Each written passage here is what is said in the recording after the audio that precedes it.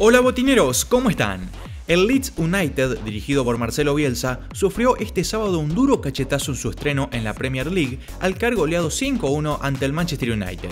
Bruno Fernández fue el autor de un triplete y Paul Pogba fue figura con cuatro asistencias. Greenwood y Fred completaron la cuenta del United. Ante más de 45.000 personas, Lionel Messi fue presentado este sábado en el Parque de los Príncipes como uno de los nuevos refuerzos del PSG. La verdad que fue una semana muy especial para mí.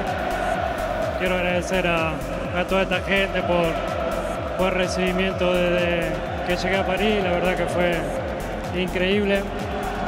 Me siento muy feliz, muy ilusionado, muy contento de estar acá, muy contento de esta nueva etapa que me toca vivir, con muchísima gana y ojalá todos juntos podamos disfrutar de este año y que sea un gran año para nosotros. Luego de la presentación, Messi se retiró al palco para presenciar el partido junto a su amigo brasileño Neymar y también con Ángel Di María.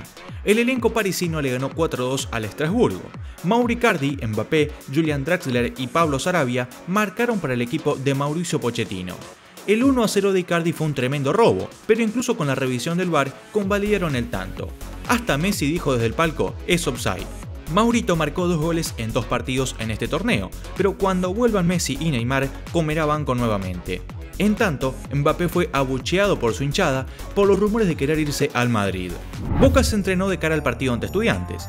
Miguel Ángel Russo volvería a decidirse por la línea de cinco defensores que utilizó en el Superclásico. El director técnico pondrá lo mejor que tiene a disposición luego de haber reservado varios futbolistas en el encuentro ante argentinos. Franco Soldano se defendió de las críticas en perfil bulos. Me faltaron goles, pero yo te puedo decir que me faltaron situaciones más que goles. Yo creo que quizá por mi poco perfil mediático muchas veces se me pegó de más. Boca ganaba 4 a 0 y decían, Boca gana, pero el 9 sigue sin hacer goles. Muchas veces no jugaba y también era culpa mía. Y completó, hoy veo las estadísticas y Boca hace no sé cuántos partidos que no hace un gol o que no patea el arco, y yo ya no estoy más en el club como para que me echen la culpa. Colón, por un golazo y en un partido accidentado, venció Gimnasia 1 a 0. Manuel Insaurralde vio la segunda amarilla a los 39 por protestar un supuesto penal. Eric Mesa, a los 33 del segundo tiempo, marcó el tanto de la victoria, en tanto que a los 42 Santiago Pierotti dejó con 10 al Zabalero, pero minutos después Neri Leyes le fue feo a Liendro y fue otro más que vio la roja.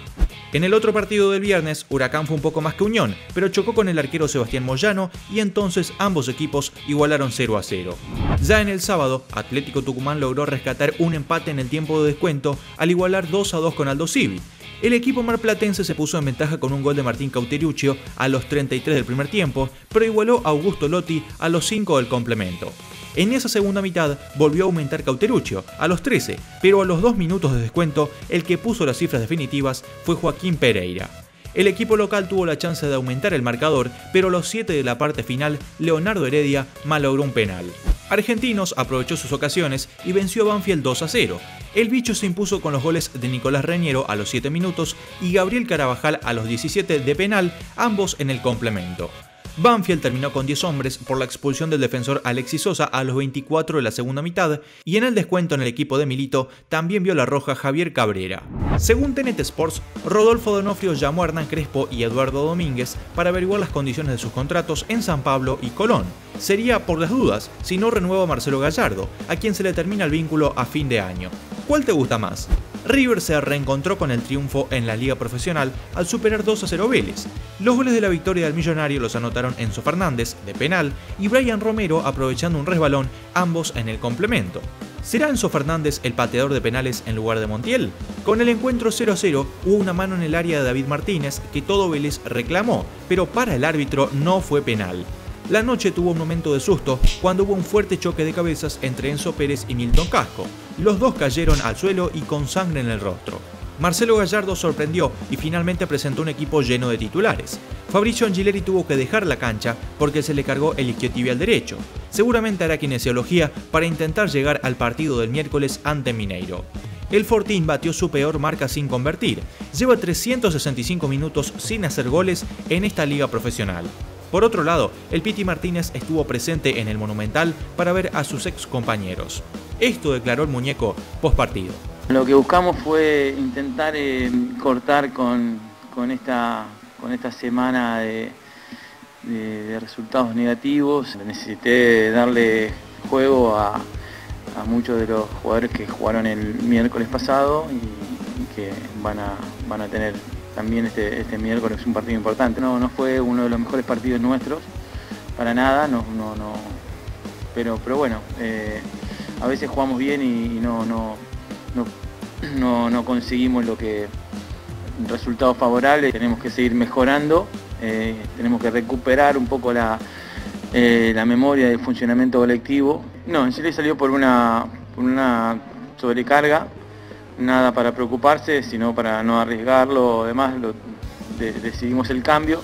Los momentos que ya se vivieron ya, ya, ya, fueron, o sea, ya quedarán en, la historia, pero ya no están. Tenemos que ir eh, eh, con, con nuevas armas, con, con, con jugadores eh, nuevos, a, a, ver si podemos revertir una serie que, es difícil, pero lo vamos a intentar.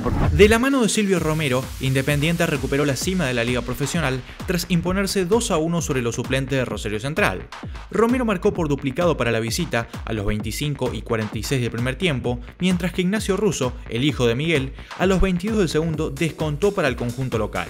Con este resultado, el rojo lidera el certamen con 14 puntos, uno más que Colón. Si te gustó este video, dale like y compartilo con tus amigos en redes sociales.